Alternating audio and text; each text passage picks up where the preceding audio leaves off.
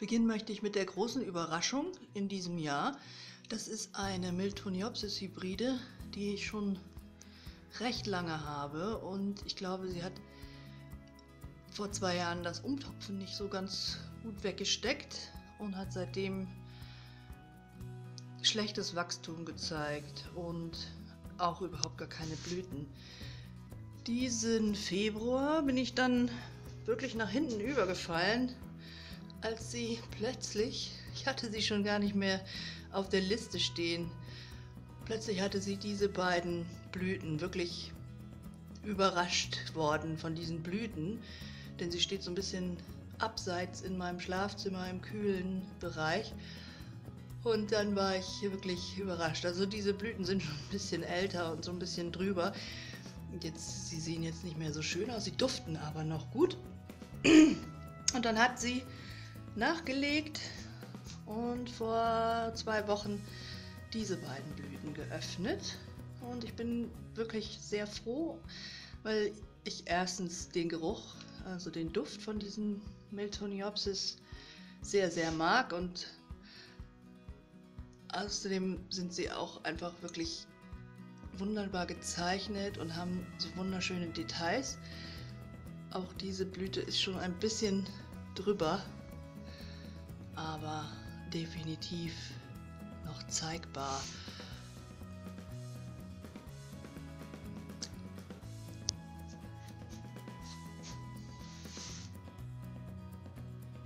Sehr schön. Ich freue mich sehr darüber. Auch die Neutriebe, aus denen sie jetzt blüht, sind super, haben hier nicht dieses Knitterwachstum, was die gerne mal haben. Also ich würde mal sagen, die ist über den Berg. Und ich hoffe, dass sie weiter, weiterhin sich so gut macht. Neutriebe sehe ich noch keine. Aber das hat ja auch noch ein bisschen Zeit. Und ich freue mich einfach sehr über den Duft, darüber, dass die Pflanze jetzt scheinbar sich wieder gefasst hat und jetzt hoffentlich fröhlich weiter wächst. Weiter soll es gehen hier mit dieser Dora, Dori, Dorita Enopsis Purple Gem Aida. Das ist eigentlich eher eine Nachblüte. Die hat den ganzen Winter über geblüht. Und diese fünf, vier Blüten hat sie jetzt nochmal in den letzten zwei, drei Wochen geöffnet. Und ich mag einfach diese, diese Blüten sehr gerne mit diesen Details hier. Kriegen wir das scharf? Ja. Mit diesen streifigen Details hier auf den Seitenlappen. Und natürlich dieser, diesem Farbverlauf hier auf der Lippe. Das ist in Wirklichkeit so ein braunrot, was sich in so ein dunkles Lila hinein verläuft. Und das ist wirklich ein sehr, sehr schöner Anblick. Und ich mag diese Pflanze sehr. Es war eine Jungpflanze, die habe ich 2015 gekauft. Und die hat dann erstmal ein bisschen gebraucht, um sich zu etablieren. Und dann war sie aber irgendwann scheinbar angewachsen und gut drauf. Und da kam letzten Herbst, Spätsommer dieser Blütentrieb und dann hat sie im Grunde den ganzen Winter an diesem Blütentrieb hier geblüht. Und das hier ist jetzt so ein bisschen die Nachhut. Ah, sehr hübsche, sehr hübsche Farben, die hier jetzt auch irgendwie gar nicht so richtig natürlich, wie das immer so ist, im Fenster von meiner Kamera rüberkommen.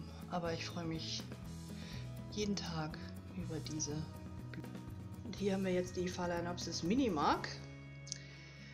Eine meiner liebsten Kreuzungen, die aber auch nicht ganz einfach sind.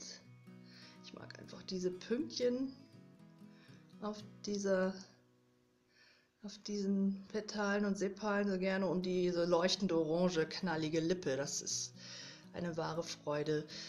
Sie hat äh, letztes Jahr nicht geblüht und musste sich ein bisschen erholen und dieses Jahr entschädigt sie mich mit zwei weiteren Blütentrieben, die hier noch kommen.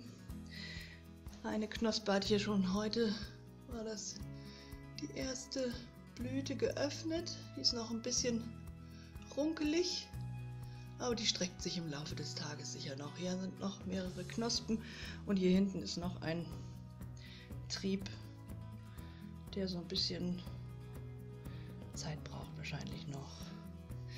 Diese Pflanze wächst, das ist ein bisschen staubig, wächst so ein bisschen langsam und ähm, sie ist auch nicht ganz einfach zu pflegen, finde ich.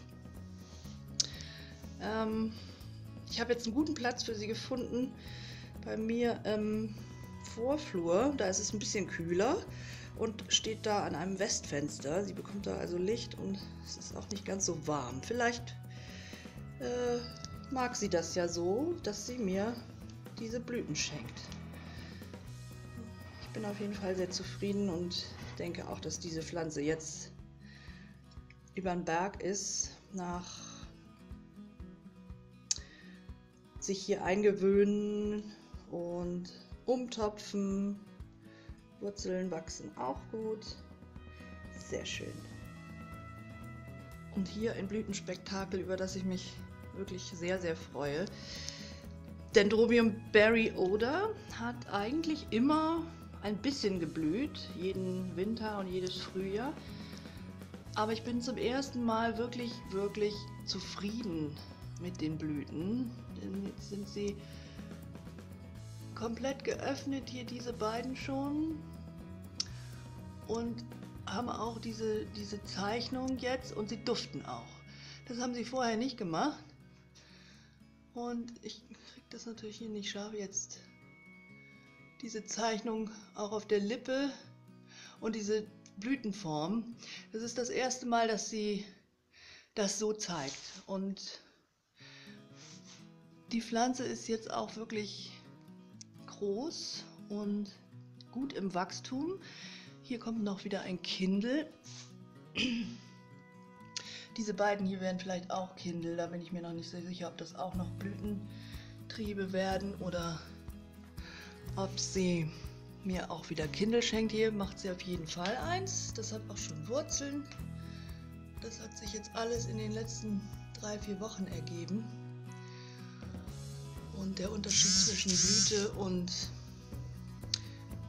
Kindel macht sich eigentlich erst relativ spät bemerkbar. Wie gesagt, sie duftet jetzt auch wunderbar nach ja, schwer zu beschreiben. Düfte sind immer schwer zu beschreiben. Auf jeden Fall ein sehr blumiger Duft und ähm, nicht besonders stark. Man muss schon recht nah rangehen an die Pflanze, um das zu sehen. Aber ich bin rundum zufrieden mit meinem Berry Oder in diesem Frühjahr. Und hoffen wir, dass das jetzt auch so weitergeht. Hier möchte ich euch meinen Oncidium Sherry Baby Sweet Fragrance vorstellen. Ein Riesentrum von einer Pflanze. Die ist vorletztes Jahr habe ich sie bekommen und seitdem ist sie so wahnsinnig gewachsen und man sieht vielleicht hier an den knittrigen Blättern, dass ich nicht ganz so gut nachgekommen bin mit dem, mit dem Wässern und der Pflege.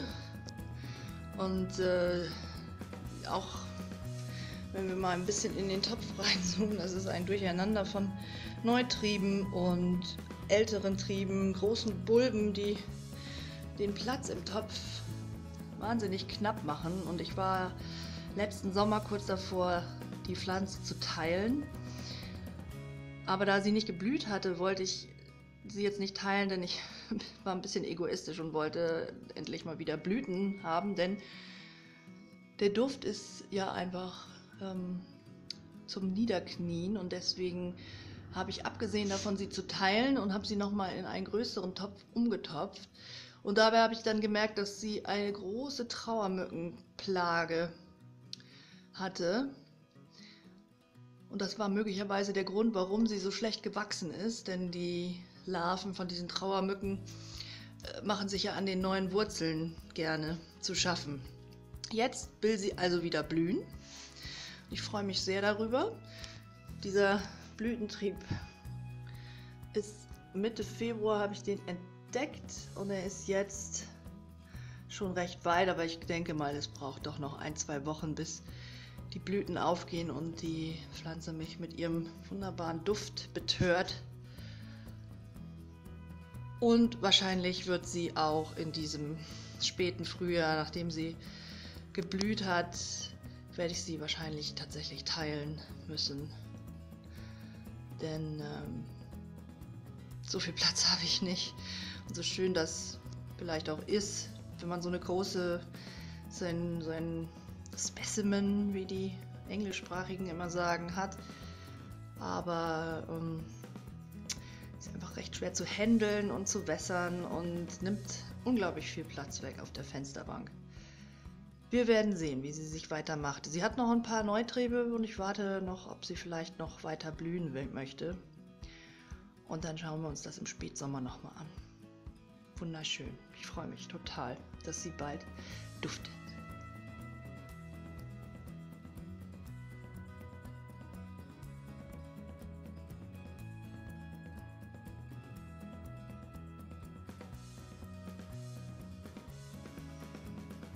Hier haben wir eine große Cattleya. Ich vermute, das ist Cattleya guatemalensis oder die heißt wahrscheinlich auch inzwischen Guariante. Guatemalensis. Ich weiß es aber nicht, weil sie ohne Tag kam und äh, deswegen muss sie als No-ID laufen. Sie blüht wie jedes Jahr im März, April. Dieses Jahr ist sie ein bisschen früher dran. Und ähm, sie hat elf Knospen, habe ich gezählt. Sie braucht jetzt aber noch ein paar Wochen bestimmt, bis sie die Blüten öffnet. Aber es wird eine große Pracht. Ich tue auch noch ein Foto von der Blüte im letzten Jahr dazu. Sehr schön.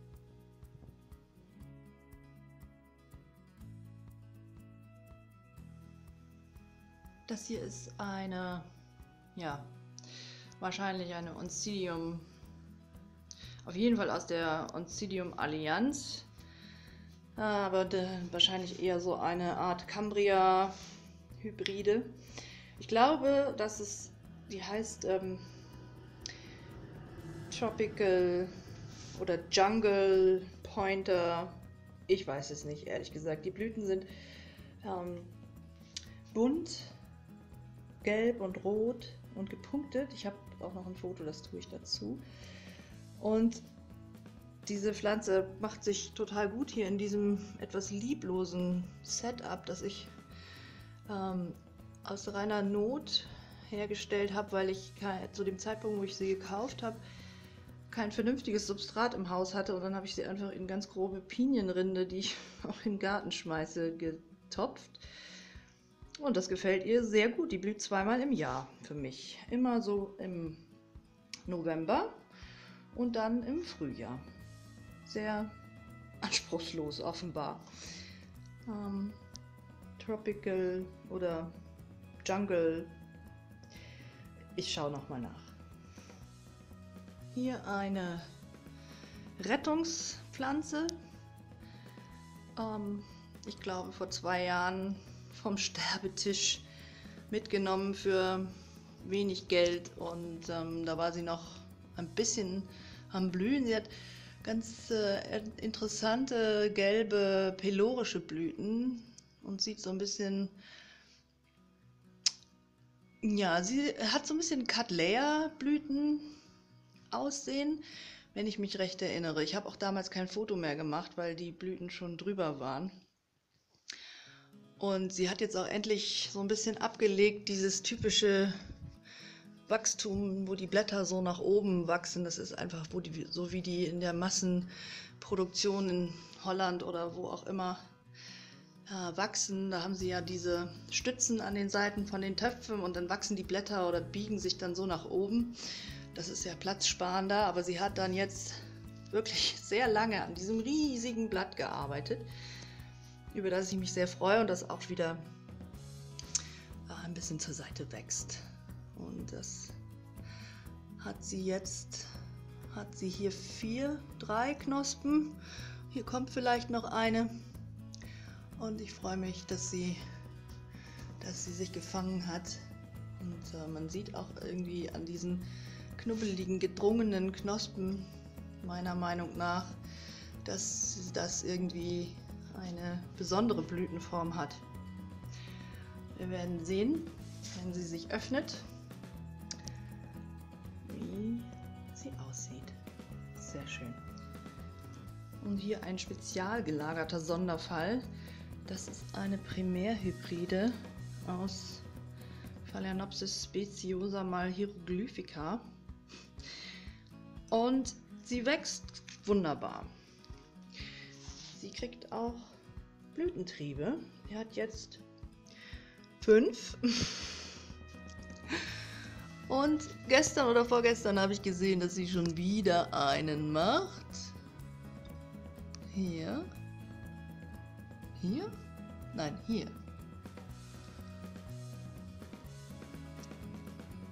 So. Das Problem ist nur, sie hat noch nie Knospen gemacht an diesen Blütentrieben. Ich werde jetzt äh, mal ein bisschen versuchen, sie ein bisschen kühler zu stellen. Vielleicht, das war, habe ich, äh, das war ein Tipp von jemandem aus dem Orchideenforum. Vielleicht äh, induziert das ja Knospenbildung. Aber ich weiß nicht. Es ist auf jeden Fall eine sehr gesunde Pflanze, mit der ich ganz zufrieden bin. Die wächst und gedeiht und sieht toll aus. Grün und alles. Neues Blatt bekommt sie auch. Und